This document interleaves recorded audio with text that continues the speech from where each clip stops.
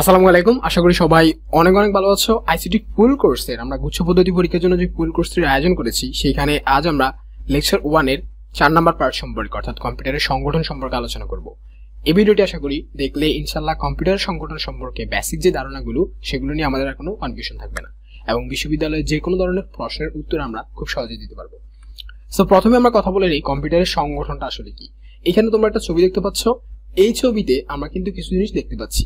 So এখানে একটা input unit তারপর একটা সিপিইউ যেখানে সিপিইউর আন্ডারে মেইন কন্ট্রোল ইউনিট এএলইউ অর্থাৎ অর্থাৎ অ্যারিথমেটিক লজিক ইউনিট এবং সেকেন্ডারি মেমোরি তারপর আছে আউটপুট ইউনিট তার মানে এই পুরো সিস্টেমটা যেরকম ভাবে কাজ করে, এই সিস্টেমের মধ্যে যে যন্ত্রগুলো বা যন্ত্রাংশগুলো আছে, সেইগুলোর সমন্বয়ে আমরা কম্পিউটার সংগঠন দেখতে পাচ্ছি।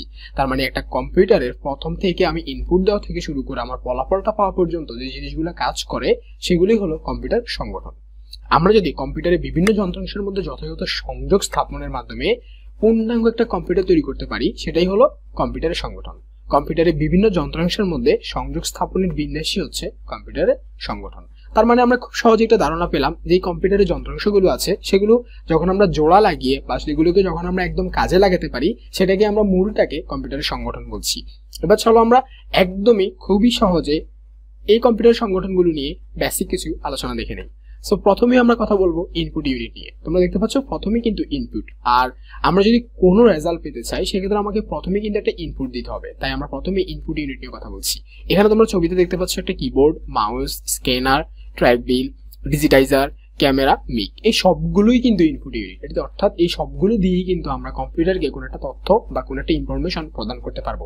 যেটা দিয়ে কম্পিউটার পরবর্তীতে কথা বলতে পারে। যেমন, এখন আমি এই ভিডিওটা বানানোর জন্য আমি যে ইনপুট ডিভাইসগুলো ব্যবহার করছি, তার মধ্যে অন্যতম একটা হলো আমার মাইক্রোফোন অর্থাৎ এই যে আমার মাইক্রোফোন আমি ব্যবহার করছি, এটার মাধ্যমে কিন্তু তোমরা এই সাউন্ডটা শুনতে পাচ্ছ। এই সাউন্ডটা যখন তোমরা শুনতে পাবে, সেখানে সেটা হচ্ছে আউটপুট ইউনিটের মাধ্যমে শুনতে পারবে। যেটা তোমাদের হয়তো যে সাউন্ড বক্স থাকবে, সেটা। এবার আসো, আমরা যদি ফর্মাল একটা সংজ্ঞা দেখি, তাহলে বলতে হবে কম্পিউটারকে নির্দেশ প্রদানের জন্য যে সমস্ত যন্ত্র বা যন্ত্রাংশ ব্যবহৃত হয়, সেগুলোকে ইনপুট ডিভাইস বা ইনপুট যন্ত্রাংশ বলে। তো এগুলোকে কি? Keyboard mouse, scanner, card reader, hard disk, floppy disk, CD drive.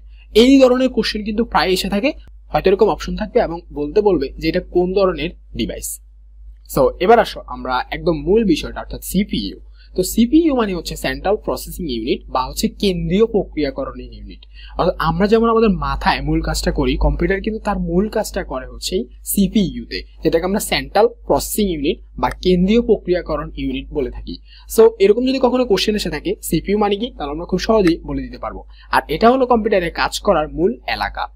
এটার মাধ্যমে আমরা যে যে কাজগুলো দেখি, তা হলো নিয়ন্ত্রণ, গাণিতিক যুক্তি অংশ এবং মেমোরি সো এখানে তোমরা কিন্তু দেখতে পাচ্ছ মেইন যেটাকে আমরা হচ্ছে মেইন মেমোরি বলব কন্ট্রোল ইউনিট যেটাকে আমরা নিয়ন্ত্রণ অংশ বলব, এবং এ এল ইউ অর্থাৎ অ্যারিথমেটিক লজিক ইউনিট যেটাকে আমরা গাণিতিক যুক্তি অংশ বলব।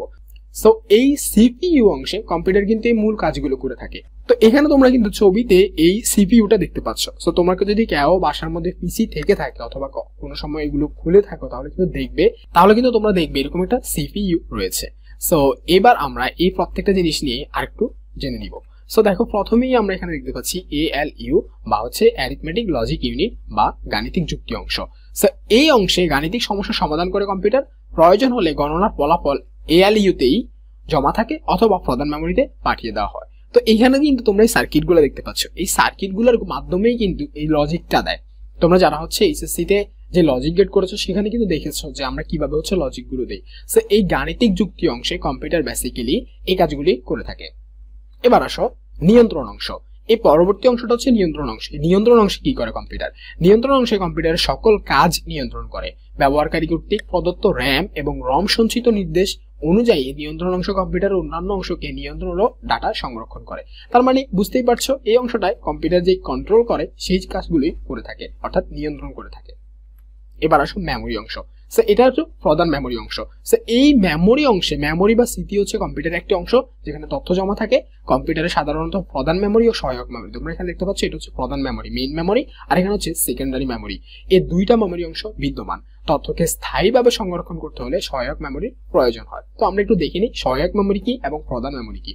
সো তোমরা এখানে দেখতে পাচ্ছ কম্পিউটার মেমোরি প্রধানত দু প্রকার। একটা হচ্ছে main memory so main memory মানে কি? প্রাথমিক মেমোরি বলতে র্যাম এবং রমকে বোঝায়। র্যামে সকল ধরনের ডাটা প্রোগ্রাম অস্থায়ীভাবে রাখা হয়। রমে এই সমস্ত তথ্য বা নির্দেশাবলী র্যাম থেকে নেওয়া হয়। অর্থাৎ এখানে র্যাম হবে। তো তোমরা কিন্তু এই জিনিসটা শুনে এসেছ মেবি সো র্যাম মানে হচ্ছে র্যান্ডম অ্যাক্সেস মেমোরি আমরা পরবর্তী ভিডিওগুলোতে এই প্রত্যেকটা জিনিস নিয়ে যখন আমরা ইনপুট আউটপুট ইউনিট বা কম্পিউটার সিস্টেম ইউনিট নিয়ে কথা বলব, তখন অবশ্যই এগুলো নিয়ে আরও ডিটেলস ইনফরমেশন দিব। তাও বলার জন্য বলছি র্যাম মানে হচ্ছে র্যান্ডম অ্যাক্সেস মেমোরি অর্থাৎ যেখানে হচ্ছে অস্থায়ীভাবে টেম্পোরারি ভাবে আমার ডাটাগুলো যখন আমি কাজ করব, তখন হচ্ছে এই কাজগুলো থাকবে। অন্যদিকে রম মানে হচ্ছে যেখানে আমি স্থায়ীভাবে বা যেখানে আমি রেখে অনেকদিন পর আবার দেখতে পারব, সেটা হচ্ছে রম সো তোমরা এখানে সেটারও র্যামের একটা এই যে এখানে দেখতে পাচ্ছ, এগুলো হচ্ছে র্যাম এবার আসো সহায়ক মেমোরি তো সহায়ক মেমোরি বা সেকেন্ডারি মেমোরি হচ্ছে প্রধান মেমোরি বাদে যে মেমোরি বেশি ব্যবহার করা হয়, তা হলো সহায়ক মেমোরি তোমরা এখানে একটা স্টোরেজ বা ডিস্ক দেখতে পাচ্ছ। অনেক সময় এরকম হয় যে আমাদের কম্পিউটারে আমরা যে ডিস্কটা ব্যবহার করি, অর্থাৎ যে মেইন মেমোরিটা ব্যবহার করি, সেই মেইন মেমোরিটা অনেক বড় না। এই জন্য আমরা আলাদা করে আমাদের যে মেমোরিগুলো আমরা লাগাই, অর্থাৎ স্টোরেজ যে ডিভাইসগুলো আছে সেগুলো লাগাই এবং সেই কারণে আমাদের সহায়ক মেমোরি বাড়ে। এক্ষেত্রে আমরা আরও অনেক বেশি জিনিস হচ্ছে আমরা এই মেমোরিতে সংরক্ষণ করতে পারি।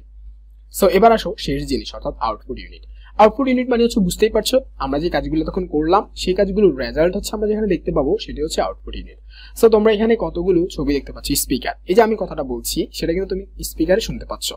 আবার তুমি কিন্তু কোনো মনিটরে না কোনো মনিটর এই জিনিসটা দেখতে পাচ্ছ। আইদার সেটা তোমার কম্পিউটার অথবা সেটা তোমার মোবাইল হেডফোন তোমরা কেউ যদি হচ্ছে, তোমরা হেডফোন ইউজ করে থাকো, সেক্ষেত্রে কিন্তু হেডফোন দিয়ে তুমি এই জিনিসগুলো শুনতে পাচ্ছ। অন্যদিকে প্লটার প্রজেক্টর প্রিন্টার সেম জিনিস। সো কম্পিউটারের ডেটা ও নির্দেশাবলী প্রক্রিয়াকরণের ফলাফল বা আউটপুট অংশের মাধ্যমে প্রদর্শন করা হয়। সাধারণত ব্যবহারকারীর অংশের মাধ্যমে ফলাফল দেখতে পারে, বিভিন্ন ধরনের আউটপুট যন্ত্র পাওয়া যায়, এক ধরনের যন্ত্র এককভাবে ফলাফল প্রদর্শন করে।